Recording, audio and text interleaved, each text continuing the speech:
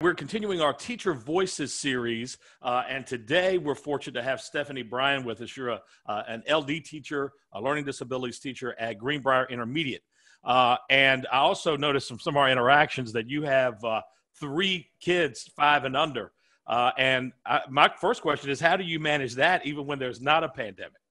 Um, trying to keep a schedule and a routine um, is definitely the biggest thing, um, and trying to keep them um, entertained. so right. it's definitely a juggling act. I bet, yeah, I'm sure. So how's it how's it going uh, with your family during this time of all this quality time? Um, I try and make afternoons like our uh, time where we're outside. We have um, fortunate to have a big backyard, so um, we try and get some time in in the morning, um, and then in the afternoons too. That's kind of like family time uh, where I step away from the computer and the emails and um, interacting with my students and parents, and, and try to just spend quality time with them. That's great.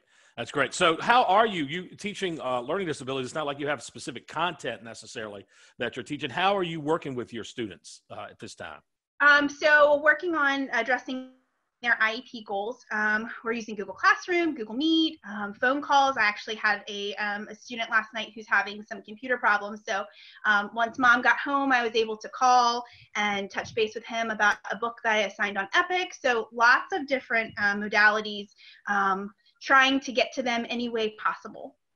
And, and generally, how are they handling this? Uh, probably everyone is handling it a little bit differently, but what kind of feel do you get for that? Yes, um, everybody is in a unique situation. Some people are asking for more and doing wonderful, while others are just trying to make it day by day.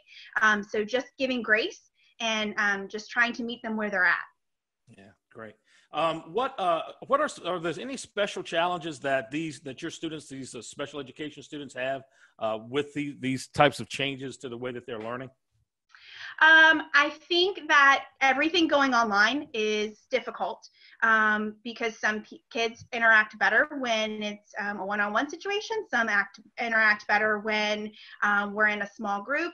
Um, and some have technology difficulties as far as access um, the technology and being able to um, you know read read directions or um, it's just a very different setting. So some are thriving and doing well while others it's it's difficult. And how are how are you liking it? How, how are you dealing with this whole new sort of revolutionized way of working with your with your kids? I um, am enjoying being home with my little ones, but it's difficult. Um, I'm missing my students, um, the interaction with them, um, being able to see them daily, um, share their successes. Um, so it's it's difficult, but we're taking it day by day. Okay, great.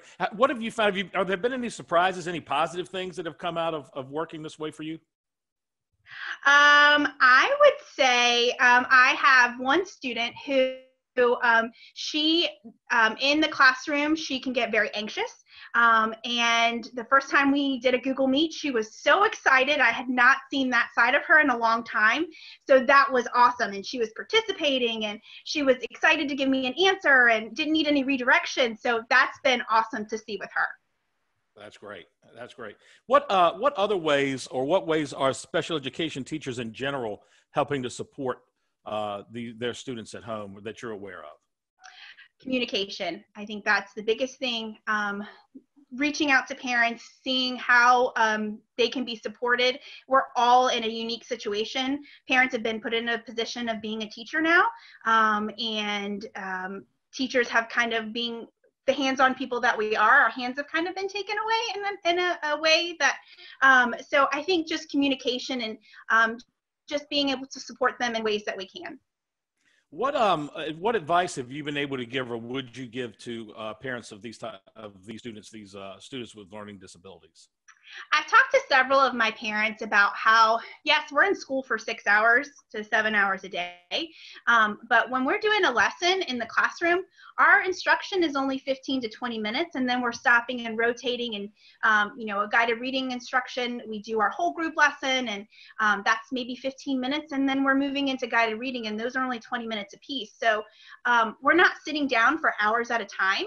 Um, so telling my parents that that you know 20 minute increments are that's great to do because after that they're, they're starting to get bored they need to move so breaking things down into chunks of time rather than sitting for long periods And then also that, you know, when we're in a whole classroom, we're trying to reach multiple children, whereas this is a one on one setting, or maybe you have a couple kids at home.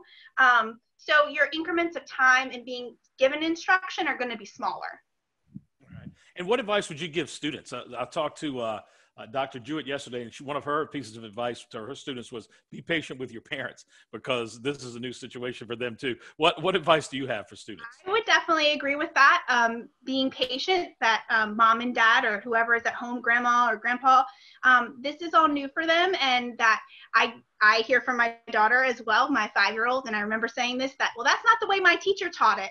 So that there's lots of ways that things can be taught, and just to, to be patient with mom and dad or grandma and grandpa that they're doing the best that they can.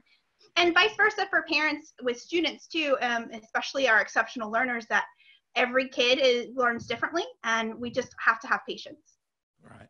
Well, that's great advice all the way around. Uh, I love talking to you. You obviously love your kids and, and love what you do, and, and we appreciate all the work that you're putting into reaching out to them. Uh, so I'm going to let you get back a little bit of quiet time before your kids get back from lunch. Uh, but thanks for talking to us, and hopefully we can check in again soon.